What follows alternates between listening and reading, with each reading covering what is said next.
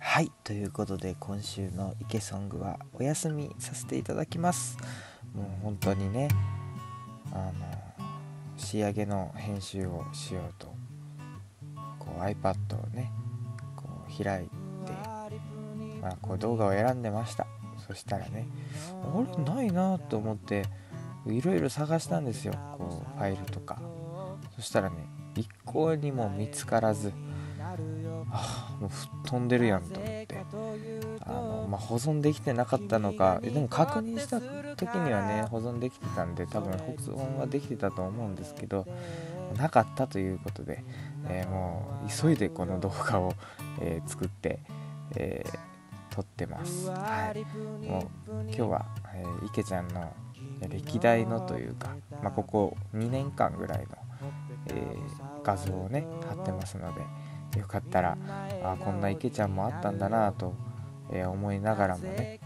えー、見てもらえたら、えー、嬉しいなと思います。であの元のね、え今週上げる予定だった動画もなんか飛んでってるみたいなので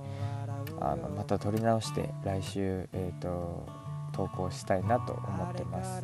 まあちょっとここがいい機会なんでちょっとお伝えしておきます、え今後の目標は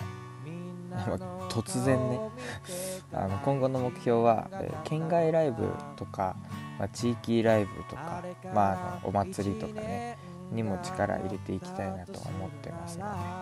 えー、またねいろんな、えー、発表告知お知らせができたらいいなって、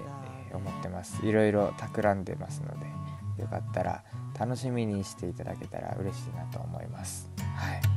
まあ今えー、ざっくりお伝えできるのは、えー、5月、え12日熊本、えー、ドミナント、えカバーナイトですね、えそして、え5月19日は、え下関でワンピクっていう、えイベントに出演します。どっちもねまあまあ大きいイベントなんでねよかったら、え見に来てください。まあ今日はねあの歌の動画がなかったんですけどえー、これからどんどんどんどん上げていきたいと思いますので是非皆さんチャンネル登録よろしくお願いします。それではまた来週。バイバイ